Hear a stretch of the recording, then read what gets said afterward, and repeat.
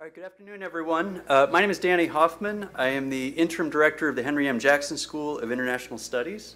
And on behalf of the Jackson School, the Foster School of Business, and the University of Washington, it's a great pleasure to welcome all of you here today and online uh, to this important conference, Chips and Chains, Trends in U.S. Taiwan Business. Now, let me begin, as we always do at our public events, uh, by acknowledging that we are on Coast Salish territory, the traditional homelands of the Duwamish, Suquamish, Tulalip, Muckleshoot, and other indigenous peoples. The Jackson School and our partners understand that the international community includes sovereign American Indian tribes, First Nations, and indigenous peoples across the world. Now, I'm honored to have the opportunity to open this event because I think it really highlights one of the core functions of a public university uh, in this somewhat chaotic moment in history. Uh, we are here to help create a space to have an informed conversation about pressing world issues that impact all of us. I think built into the DNA of both the Jackson School and the Foster School is the understanding that there's a lot of nuance required to understand global relationships today. One needs a firm grasp of culture, history, language, and politics, as well as an understanding of economics uh, and business practices in order to engage in the present and plan for the future. So I think over the next two days, you're really going to see how rewarding and insightful it is to take that basic principle seriously. So I want to thank everyone that made this possible, um, our guests and visitors who will be presenting here today and tomorrow, the staff, faculty, and students of the East Asia Center and the Taiwan Studies Program in the Jackson School, and the staff, faculty, and students of the Foster Global Business Center. So with that, it is my pleasure to introduce Professor Debra Glassman, teaching professor of finance and business economics in the Foster School, and the faculty director of the Global Business Center. Dr. Glassman's academic expertise is in global business, international finance, and macroeconomics, and she'll give our conference and keynote introduction. So thank you and welcome.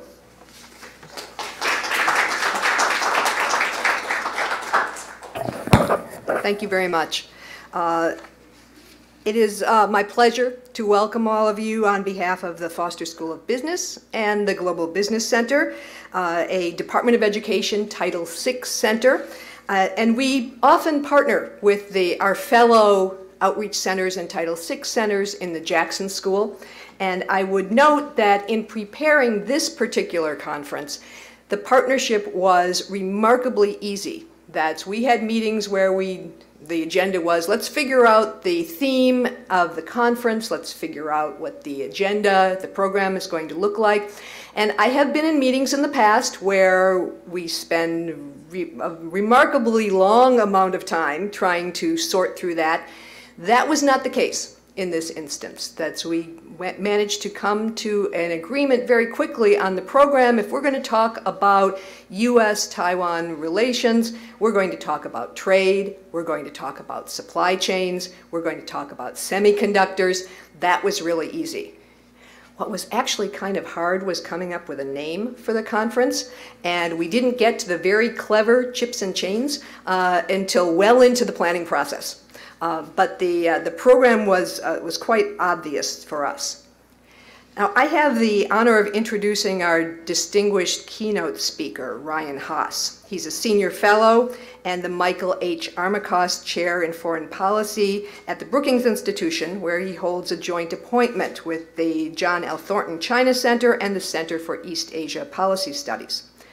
Additional details of his impressive resume are in the program.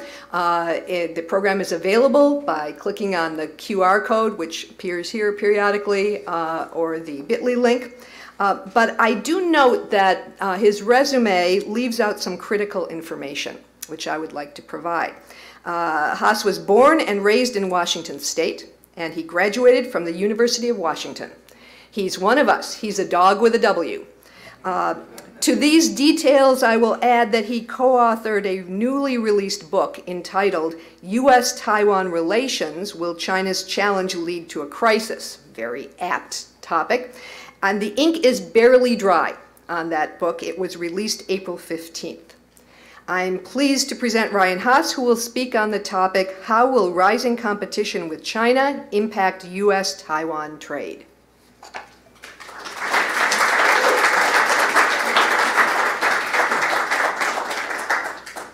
Well, thank you, Debra. Uh, thank you, Danny. Thank you, everyone, for, for this opportunity. Um, it really is meaningful me, for me to have this opportunity to be here. for a couple of reasons. Um, first, Taiwan is near and dear to my heart. It's an issue I care deeply about. And judging by the fact that you are all foregoing 75 degree heat in Seattle on a Friday afternoon, it's an issue that you also care deeply about. So I appreciate being in your company. But it's also important because this is my alma mater. This is a place that means a lot to me. And it's an opportunity for me to speak in front of my family, uh, which is at the, the, the center of my heart. And so I appreciate everyone giving me this chance. My task is to offer a perspective on how rising U.S. China competition will affect U.S. Taiwan trade and economic relations going forward. And to, to help get at this question, I want to spend a few minutes at, at the start talking about the overall context. In other words, describing how U.S. China competition is intensifying and how it's being felt in Taiwan and Taiwan's economy. And then I will try to close with a few modest suggestions of steps that the United States and Taiwan could take to bolster Taiwan's economic security, which I view as sort of the foundation uh, of its overall national security. Now, I will do my best to be efficient uh, with these remarks because I think the real value of our hour together is going to come in the conversation. But to set the stage, I want to uh, start with the statement that Taiwan's Minister of Defense made earlier this week. Minister Chiu said that his forces would be prepared to defend Taiwan and its people, as well as its material and its strategic resources from attacks from any direction. He said, if they want to bomb this or that, we will not tolerate it, which is a reasonable, predictable statement for him to make, except for the fact that he was not talking about China. He was talking about the United States. He was responding to a statement that Congressman Seth Moulton had made that the United States should be prepared to, quote, blow up Taiwan Semiconductor Manufacturing Company if China ever invades. In other words, Minister Chiu was explaining that his armed forces would be prepared to defend Taiwan against the United States if the United States sought to blow up the crown jewel of Taiwan's economy to prevent it from falling into China's hands. And this is the upside down, black is white world that we increasingly find ourselves in when we talk about Taiwan issues these days. As context, Congressman Moulton is a Democratic congressman from the state of Massachusetts. He's a former officer in the Marine Corps. He has strong national security credentials. He's a rising star in his party. He is not a fringe member of Congress. And he was speaking, when he made these comments, to the Milken Institute's annual conference in front of a group of financiers, uh, thought leaders, members of the media, uh, and others. This was not a low key setting for spitballing about out of the box ideas. Now, I, I, wanted to start here because I think it sheds light on a few important dynamics that are at play in the US Taiwan economic and trade relationship. And I will get to China in a moment. But first, why is Congressman Moulton talking about firing missiles at Taiwan companies? Why does TSMC matter so much? And at a deeper level, why is Taiwan so important to the United States? I think that, that Taiwan matters significantly to the United States and frankly to the world for a couple of reasons. I'm going to highlight four here, but I welcome others to add to or amend this list. The first reason is that Taiwan is the beating heart of the global economy. It produces almost all of the world's advanced processor chips that run everything from our cars to our computers, from our watches to our refrigerators, pretty, pretty much every digital device that, uh, that our life depends upon. And as a point of comparison, um, the OPEC countries, the Organization for Petroleum Exporting Countries, they, uh, they have significant influence over global energy markets. They produce around 40% of the shares of the world's oil production. Taiwan's share of global chip production is orders of magnitude higher than OPEC's share of oil production. Taiwan produces over 90% of the world's most advanced chips. And as a consequence of this, the United States trades more with Taiwan than it does with France, than it does with India, and than it does with every other country in the world save seven, because Taiwan is America's eighth largest trading partner. So the first reason why Taiwan matters so much to us is because it is the, the beating heart of the global economy. The second reason is because there's broad public support in the United States for Taiwan. We care deeply about um, Taiwan. It's driven by shared interests, shared values, and by sort of a tradition in the United States of standing up for the little guy who is being bullied by big neighbors. In this deep support, it's reflected in public opinion polls, it's reflected in statements by members of Congress, and it's reflected in the words of our president President Biden has said four times publicly that the United States would be prepared to go to war to defend Taiwan if it ever came under attack. The third reason why it matters so much is that Taiwan is really critical to the credibility of America's security commitments. America's allies around the world look at Taiwan as sort of a canary in the coal mine. Uh, they think that if America abandons Taiwan, then they may be next. And this matters a lot for us because America's status as the world's only truly global superpower depends upon our network of alliances and partnerships around the world. And if America's allies begin to doubt the credibility of our commitments, then the overall network of alliances will begin to unravel. And so Taiwan's relationship with the United States has implications that extend far beyond Taiwan, but also the, the standing of the United States in the world. And then the fourth reason is that Taiwan is critical to peace and stability in Asia. The United States has made a bet that Asia will be the most critical region of the world for us in the coming century. We see Asia as young, as dynamic, as the engine of the global economy. And our view is that Asia's economic growth depends upon regional stability, and regional stability depends upon the avoidance of war in the Taiwan Strait. So, for all of these reasons and more, the United States really believes that it is deeply invested in its partnership with Taiwan and in preserving peace and stability in the Taiwan Strait. And this gets me back to Congressman Moulton's unfortunate statement last weekend. My sense is that he was reflecting and reacting to a darkening mood in Congress that conflict in the Taiwan Strait is inevitable and potentially inescapable. There is a growing presumption among the members of Congress that I speak with, at least, that China will invade Taiwan at some point in the future. And this presumption is compelling members of Congress to look for new and novel ways to try to defer, deter and, uh, and, and prevent China from invading Taiwan. And this impulse is taking expression in a variety of ways. For some members of Congress, it's motivating them to urge the Defense Department to accelerate their efforts to strengthen uh, military capabilities around Taiwan. For others, it is causing them to argue that the United States should abandon Ukraine so that we can focus our resources and our energy and our attention on Taiwan. And yet, for others, it is causing them to search for ways to seek to limit the benefits that Beijing could derive if it ever were to gain control of Taiwan. Under the assumption that if we reduce the benefits that Beijing could derive, that it may compel them to not uh, pursue a path of, of taking over Taiwan. And I think that Congressman Moulton's comments sort of fall into this latter basket of, of impulses. And the assumption in this thought process is that China wants Taiwan to gain control of the world's semiconductor chip production. And once it has gained control of this critical sector, which drives the global economy, then China will have leverage to exert its influence and do what it wants around the world. So, in other words, Taiwan is a strategic asset, and it must be kept from China's grasp. And this idea of, of Taiwan as a strategic asset has long roots. It traces back to at least uh, World War II, when General MacArthur uh, argued that Taiwan is an unsinkable aircraft carrier that we must keep on our side. And there have been variations of this argument in, in the decades since. And the updated version of General MacArthur's argument is that Taiwan is the cork in the bottle. It is what is preventing China from acting on its expansionist impulses. And that if China were to gain control of Taiwan, then it could move to the Philippines next, and then it could move beyond that. In other words, there may be a domino effect leading China to dominate Asia at America's expense.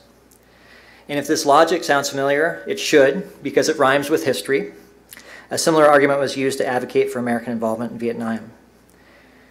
And these types of arguments are being fueled, at least in Washington, D.C., by an uncomfortable feeling that China is winning. And if China is winning, then the United States must be losing. And damn it, we need to do something to stop this trend. And it's, it's informed by you know, the fact that China's military is advancing rapidly. They are exercising their capabilities around the north, south, east, and west of Taiwan in ways that they never have before. They are practicing missile barrages. They are exercising blockades. And there doesn't seem to be a lot that the United States or Taiwan seem capable of doing to stop this trend. And this, this mood of China winning and therefore America losing is understandable, but it's wrong-headed. Differences between Beijing and Taipei are an artifact of an unresolved Chinese civil war between the Kuomintang and the Chinese Communist Party. For Beijing, Taiwan is the last jewel needed to complete its crown. One of the founding missions of the Chinese Communist Party when they took power in 1949 was to try to unite all of China, Greater China, under one banner. And since 1949, the Chinese have asserted control in Xinjiang, in Tibet, in Hong Kong, and Taiwan is the last piece that, uh, that stands outside of their grasp. And this mission to try to you know, unite all of China, Greater China, as they conceive it, under one banner, actually is not an invention of the Chinese Communist Party. It dates back to the period preceding, including the Qing Dynasty and before. Now, I should also note that our friends in Taiwan are similarly determined to preserve their political autonomy and democratic way of life.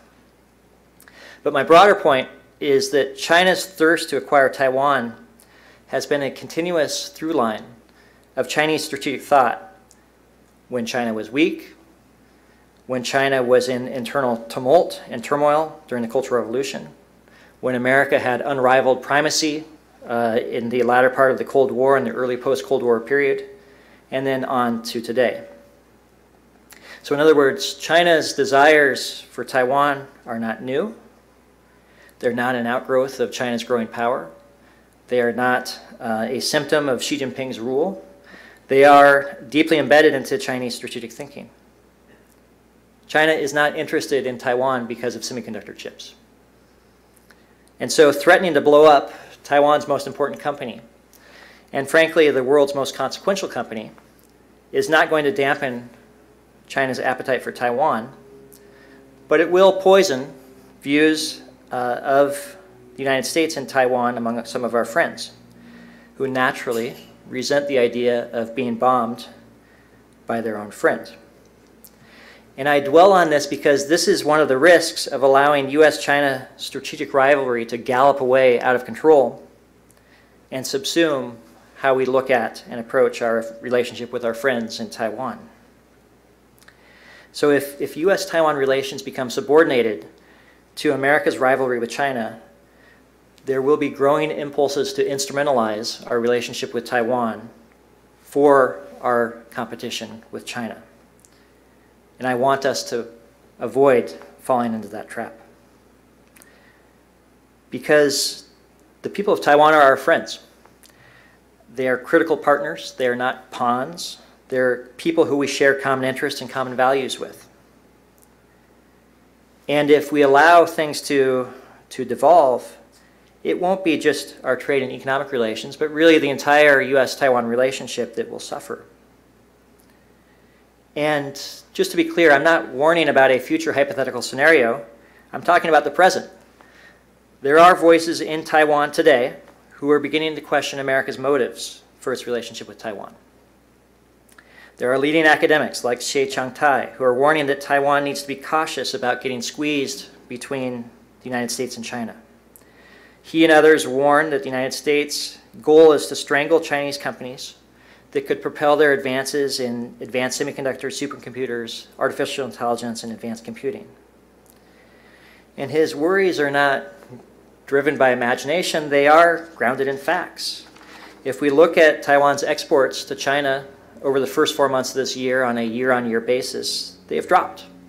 They have dropped over 20, 25%, according to China's custom data.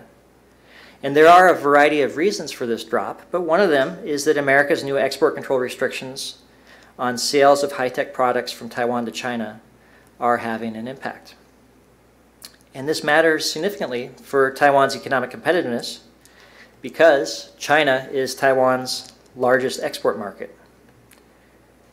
And it's a significant export market. To put this in perspective, uh, Taiwan, around 40% of Taiwan's overall exports to the world go to China and Hong Kong.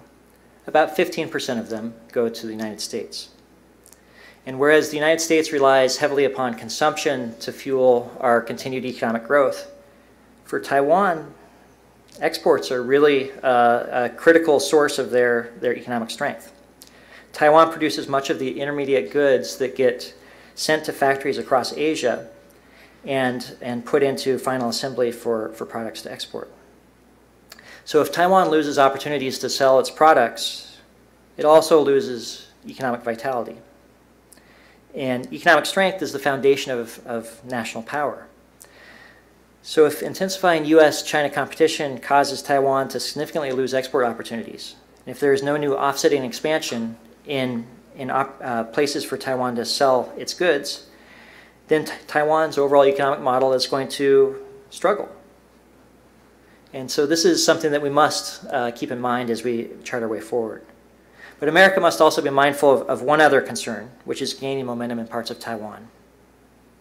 And to be sort of undiplomatic about it, it's a fear that the United States cares more about extracting Taiwan's value than about preserving Taiwan's security. And this, this concern gained urgency in Taiwan following a statement that was hardly noticed in the United States, but it was uh, certainly noticed in Taiwan. It was a quote made by our Commerce Secretary. Her name is Gina Raimondo. And she was speaking last year to the Aspen Institute and she said that it is unsafe and untenable for the United States to continue relying on Taiwan for all of its advanced semiconductor chips. So she urged the United States to engage in a Sputnik moment, to invest considerable resources to strengthen America's domestic production, production capacity so that we wouldn't have to rely so much upon imports of chips from Taiwan. And she made these comments as part of a lobbying blitz to try to encourage Congress to pass a CHIPS Act, a $52 billion package to subsidize semiconductor fabrication production in the United States.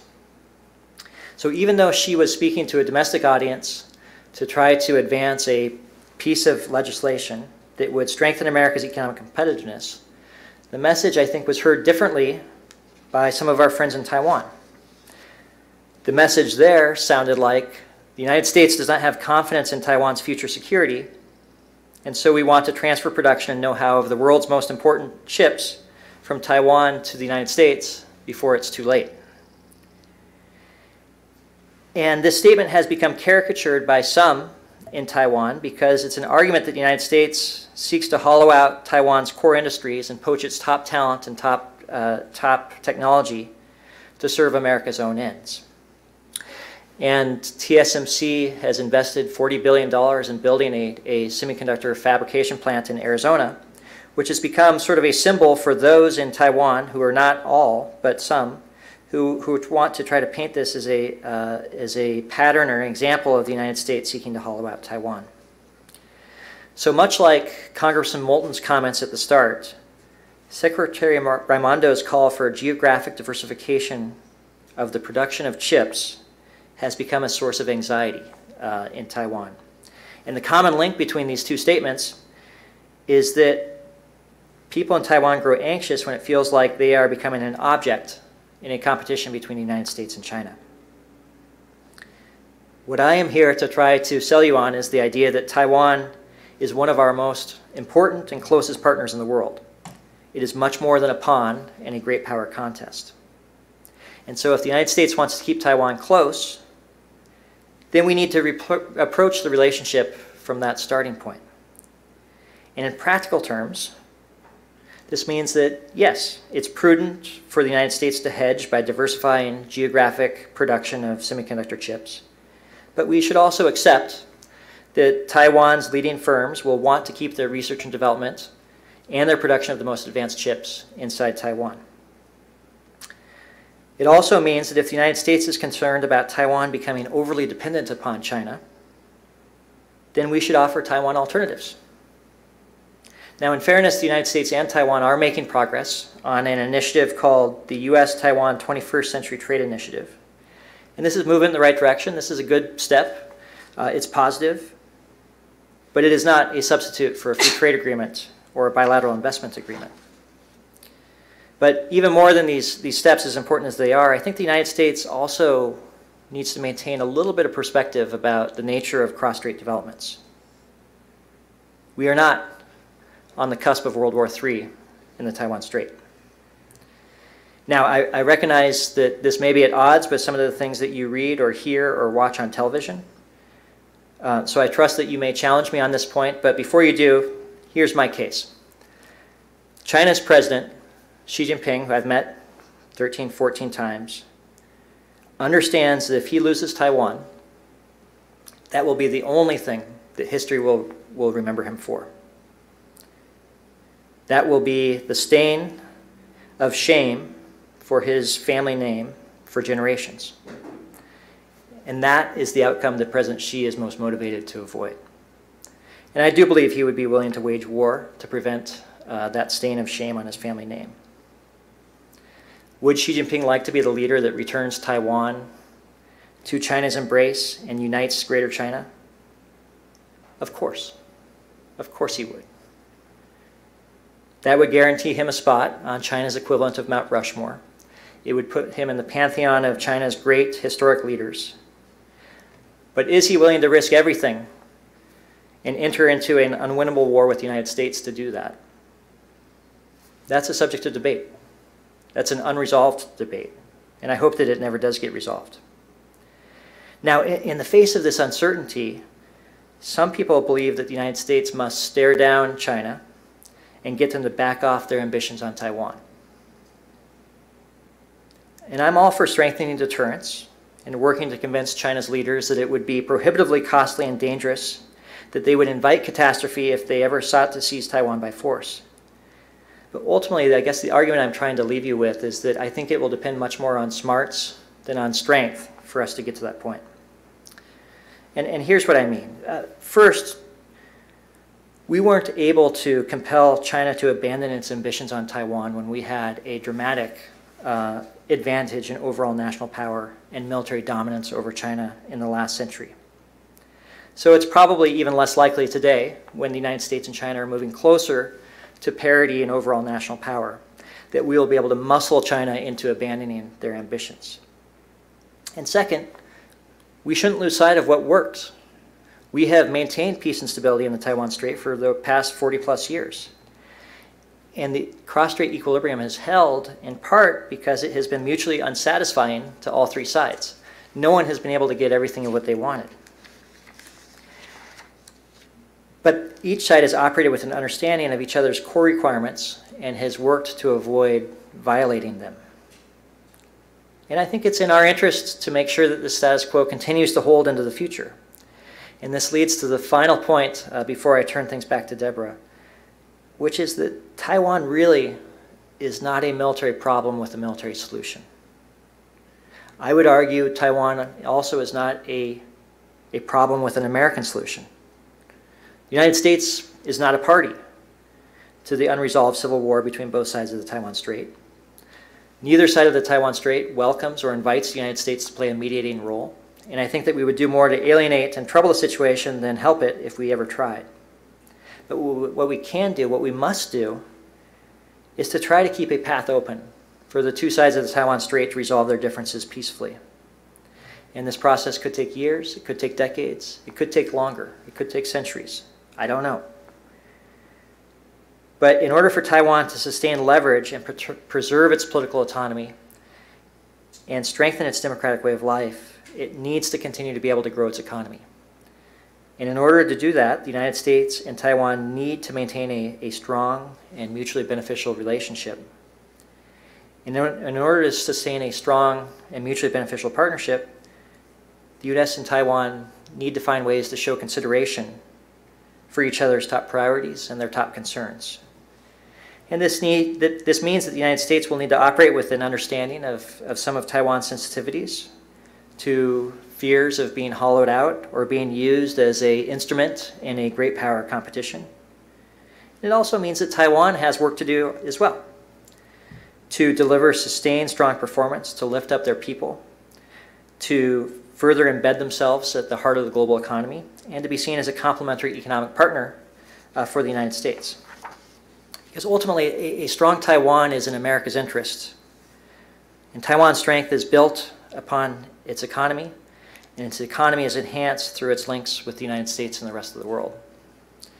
So I actually am, am rather confident that the United States and Taiwan are up to the task. I think that it's imminently possible, and I think it's in both sides' interest. And if I have left you with nothing else, uh, I hope that I leave you with, with one thought, which is a small bit of optimism that Taiwan's potential is strong and the future of the U.S. Taiwan economic relationship will be vibrant. So thank you so much. I look forward to our conversation.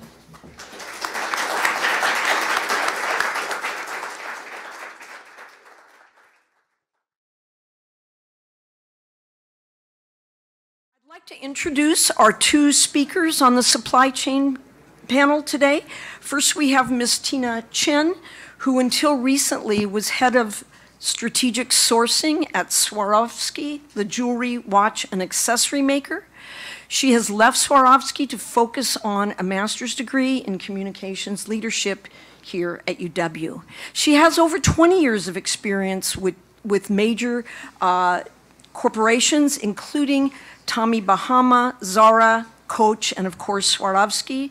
She's been involved in a wide range of roles in merchandising, product development, and sourcing uh, in regions covering Asia and North America.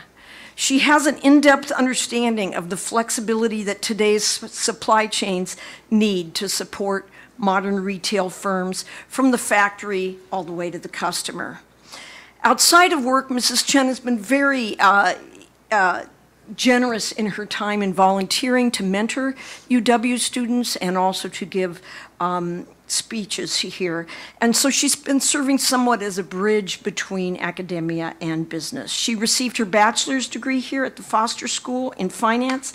And as I said, she's working on a master's degree here. Our second speaker is Mr. John Hodowany, President and General Manager at J.C. Grand an engineered fasteners manufacturing company which makes, exports, and distributes industrial fasteners and related hardware components. The company is based in Taiwan with factories in Taiwan and China. In the past, Mr. Hodowany has worked for the Boeing Tech Center and at two biotech startups focused on large-scale gene expression lab automation. He moved to Taiwan in 2005 to take on the role he has as president of JC Grand. He has a bachelor's degree in mechanical engineering and quantitative economics from UC San Diego and a PhD in aeronautical and mechanical engineering from the California Institute of Technology along with an MBA degree from the Foster School. So we thank them both for taking time out of their very busy schedules to join us today. So we will first have Ms. Chen talk, and then she will be followed by Mr. Hodowany. Please. Hi, everyone. It's such an honor to be here. Um, and with John, my good friend. and I, you know, and Ray in the back there. Hi. Um, so um, I'm here to share about my experience working for, uh, for uh, Coach Anne Swarovski.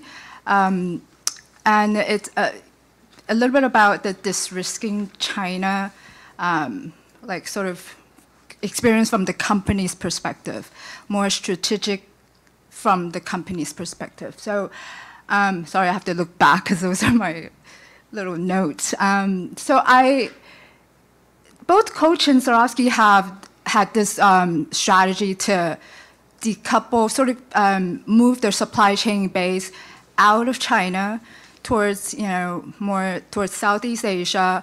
Um, and for Swarovski, in the past two years, they even wanted to come all the way over to um, America, like Central and South America. Um, but they're a little bit different in terms of their strategies and the timelines um, because the companies are both different in their a little bit in their characteristics and company cultures as well. Um, so I'm going to talk about Coach first, um, since I joined Coach um, before I joined Swarovski. So Coach started their um, moving away from China strategy since 2012. That was quite early. Back then, there was no political issues between the US and China. It was purely because of the uh, increasing costs, like labor costs. Um, I think there was also the, the insurance um, costs, you know, for, for uh, not just the labor itself, but also the insurance around, um, around that and um, for, for, for workers. Um, so that was the main reason. And then they also moved the sourcing office from Hong Kong and China to Singapore entirely. They closed that um, sourcing office from Hong Kong and China to Singapore. And that, I thought that was really strategic because um, at back then, I don't remember exactly which year they moved, but then it was more um, also for cost reasons, and there was pretty much no need. After they moved all the factories away from China, they don't feel like there was a need to put a sourcing office near there. So, um, and Coach was 100% external manufacturing. It, what I mean by that is they don't own any of their factories. They pretty much partner with the, you know, uh, the, the business owners and it was 100% external. At, in the beginning, it was 100% external in China, but um, don't rem remember exactly. A few years later, they were able to move 90% of their external manufacturing from China to Vietnam, the Philippines, and now they're thinking about moving to India as well. So, um, so it, I think they were able to achieve that, or they actually completed this whole project this uh, this risking like move 90% to over to Saudi Southeast Asia before I even joined um. So that was like I think they achieved it within I think I joined Swarovski around 2015. So was, they were quite fast, um, flexible. I think mainly because they had really strong relationships with their supplier, very strategic. Actually, Coach did not spend a penny to move out of China, they basically told the suppliers, hey, I want to move out of China. Why don't you invest in a, in a new country for me? And the suppliers all follow their um, order pretty much. And, um, and also, Coach had a very strong um, engineering team. So, um, and they were able to achieve the knowledge transfer, like transferring the in, um, how to make the bag from like China to, they basically sent their own team from China, to, you know, to Philippines, to, to Vietnam, to be stationed in, in these factories and teach the local workers how to do it. So I thought that was pretty smart, you know, because they had this advantage. Um, and also because they don't own any of the factories, very strong cash flow. They were able to achieve it right away. So I think these are the main factors. Uh, was able to do it, like, you know, really streamlined, flexible, and fast honestly, I think coach should be in the textbook, in the supply chain textbook. But anyways, um, so I'm going to move on to Swarovski, which is a, a little bit, um, they are on the right track. Um, um, moving away from China, but they didn't start thinking about it until 2019. Um, when Trump and uh, um, you know the Trump administration, you know, uh, uh, uh uh, putting all those policies towards China. That's, that was when my boss, the VP of sourcing, decided, hey, we need to do something. Um, but that, I thought that was a little bit late. Um, and and it was they moved to China not just because of the increasing cost, but also because of the politics I was mentioning, Trump between Trump and China, as well as the environmental. It was before, right before COVID when we decided to move out of China, the COVID did not start yet. But it was all that like transparency, like the, the lack of transparency in, in supply chain. And, um, and Swarovski wanted to be a more sustainable brand. So then that was one of the strategy as well. Um, also because Swarovski had, um, it's, it, it's more like the supplier relationships uh, reason that they want to move out of China and because uh, out in um, they want to develop the stronger supplier relationships. Uh, yeah. So, um, so however, Star- is um, not they're not 100% external manufacturing. There's about um, they, they uh, owns part. Uh, they, we own our own factory in Thailand and Vietnam, about 60% versus 40%, 60% internal versus 40% external. So that's, um, that's, that's a, sort of uh, internal strategy, but then it also um, limited the cash flow. So when the pandemic hit, there's a lot of um, cash, cash flow concerns, and that kind of sort of delayed the whole project uh, timeline because of the uh, cash flow. Um, So, so Swarovski does have this strategy to move the external manufacturing. Internal, you can't really move because that's your factory. You still have to sort of, you know, uh, make sure you pay your workers and give them enough um, production and all that. But Swarovski does plan to uh, move the external manufacturing to Mexico and India. And that's one reason why I came back to the States working for Swarovski because uh, they wanted me to source in Mexico, you know, for the, to make the products. Um, however, the, I think the, the, uh, the difficulty about local, this local sourcing strategy is, is about, is that there's la it's lack of the local um, skillful masters we call sifu. You know, like in Chinese we call sifu. Basically, these are the masters they know how to make these jewelry pieces by hand. And um, over in the new, uh, especially in Mexico, there, there's not many workers like that. And so um, Swarovski had to send their engineering team from Thailand, from China, all the way to Mexico and station in Mexico for like two, three months and teach the local workers how to do it. That also delayed the entire timeline. Um, and also there's a, a, little bit of conflict between internal and external manufacturing within Swarovski. As you can imagine, internal factories, they want, they want loads, they want POs, you know, because they want to pay the workers. Um, they are reluctant to teach the skills to the external manufacturers. So therefore, um, it, it, a little bit because of the company culture and strategies, it's making it uh, a little bit of uh, it, it's a more difficult process uh, for Swarovski. But it, they are definitely on the right track. I just think that there are some limitations to achieving it. So um, that was a little bit my little bit my sharing from uh, working for these two countries. I mean, the two two companies, and they are definitely on the right track, though. So, yeah. Great. Thank you so much, Tina. John. I think I got this. I'll, I'll, I'll sit here. um, I'm going to comment on some supply chain considerations, let's say over the last decade or so, um, uh, from a perspective of a business owner and uh, CEO of a manufacturing operation. Um, our company, it's not a company advertisement, our company is about 150 million US dollar equivalent in revenue, so it's squarely in the mid-size enterprise, uh, at least from a Taiwan perspective. Again, headquartered in Taipei, uh, most important thing to keep in mind for this context is number one, I've been in Taiwan since 2005, so it's almost, you know, it's better part of 20 years. So I've been through the pre, during, and post Great Financial Crisis, which occupied a lot of my attention for the first decade I was there.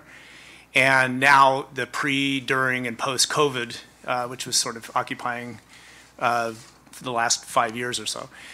So it's a pretty exciting ride. Um, the, uh, the other thing to keep in mind is that we do have uh, manufacturing operations both in Taiwan in the south, in Kaohsiung, and in, uh, and in China, in, near, in the Shanghai region generally.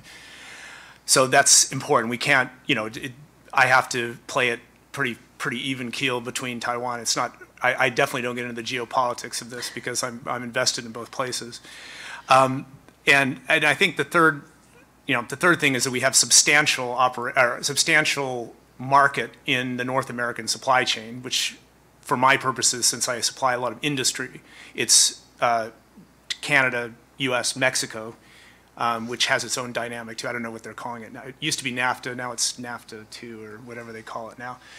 Um, so that's that's an important context. So in the I've kind of separated into sort of the pre-COVID area. So that's, I had asked Ryan a question about trade agreement, but more from a national security perspective, which is not my, my background, but certainly from an economics perspective, uh, I was, although, you know, my personal feeling aside about the TPP, uh, Trans-Pacific Partnership, from a business owner that had operations in China and Taiwan, the TPP was going to exclude both of them, as Ryan mentioned that was worrying to me. Um, I could easily have seen, you know, our, uh, you know, the, we don't have super high tariffs on our products, but if, you know, if our, if our competitor, competitors in Southeast Asia had zero, that was, it excluded both of my operations, that would have been a problem.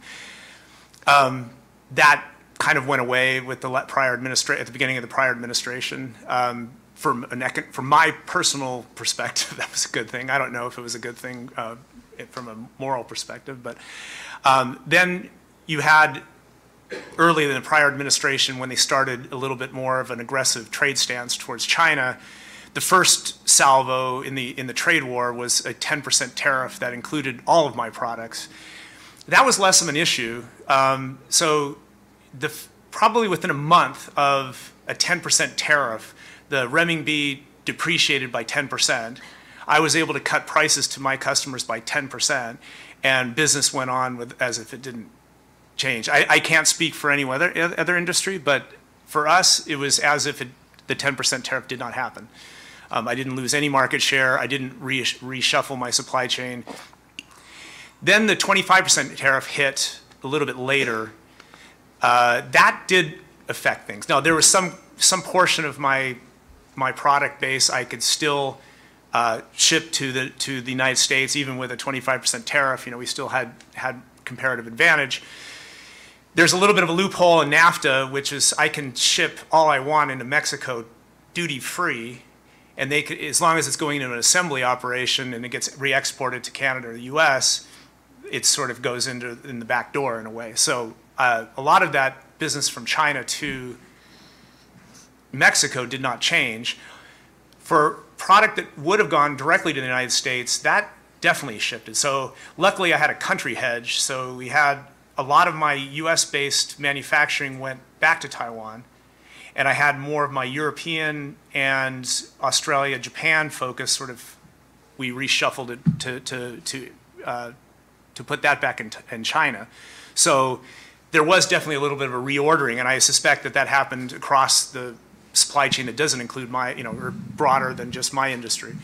Um, you saw reshuffling of supply chains, sort of de, a lot of, uh, we put, we postponed a lot of new investment in China because there's a lot of uncertainty about the future, uh, whether that was going to get worse, whether, you know, other, other, other countries would put uh, tariffs or extraordinary tariffs on China. So it really deterred investment in China writ large. That's, this is true, including myself.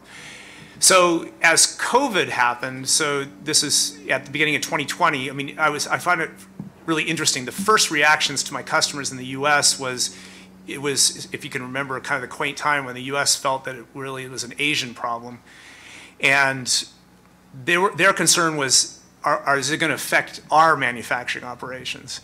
And so in Taiwan, Taiwan sort of is, you know, a small island. You, you sort of control ins and outs, and actually we we didn't there wasn't a day off work we took. Um, we, life proceeded about the same way it did before COVID, during COVID in Taiwan. My manufacturing operations were not affected at all.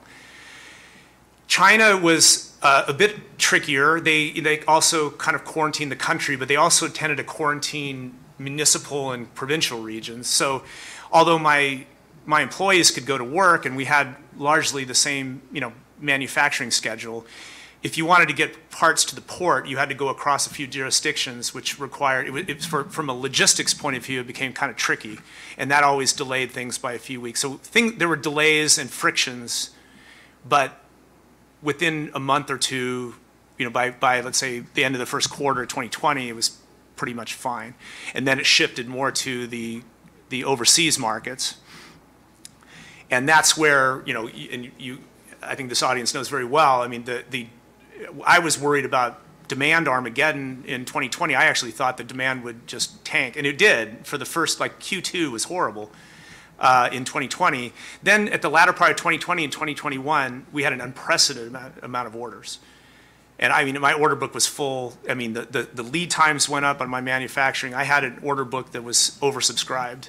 And then it became a shifting of how do we get all this demand manufactured and overseas. And you, you saw articles about the port in Los Angeles and ships, you know, that was all true.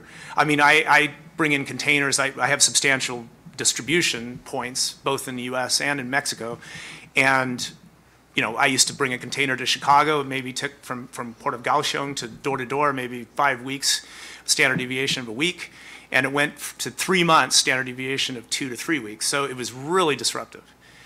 And we had, you know, shifting, trying to get containers out of the yard, trying to airship things. Um, and my products are fairly heavy, so it's, uh, it really got really costly for both us and for our clients. And so that, now we find, you know, post-COVID, goes in reverse, demand's regularizing. I wouldn't call it tanking, but it's regularizing. My customers have a lot, you know, with this, shipping lead times have shortened, manufacturing uh, lead times have shortened. Uh, That pipeline stock, which probably, you know, because of all the disruptions, was, you know, six months, you know, pipeline stock or more, uh, shrunk down to more normal lead times, and, and then the customers have stock overhangs. And so that's really the, the theme of 2023, is to work through stocks that were built up during the COVID era. Um, And then, as Tina kind of mentioned, the supply chain, this is maybe more specifically to COVID, there's, two- you know, with supply chain de-risking, there's really two factors here. There's the, there's the geopolitical factor, which, you know, the elephant in the room is just the, the trade relations between the US and China, and Taiwan's, you know, kind of in the middle. Uh, That's one element of it. Um, And the second element of it is just what happens if something like COVID happens again? And what are we going to do about it? You know, will the, will the shipping lead times and everything, so I think part of the answer to both, both problems, both geopolitical and a potential future pandemic, is to geographically diversify, like, kind of like Tina had mentioned.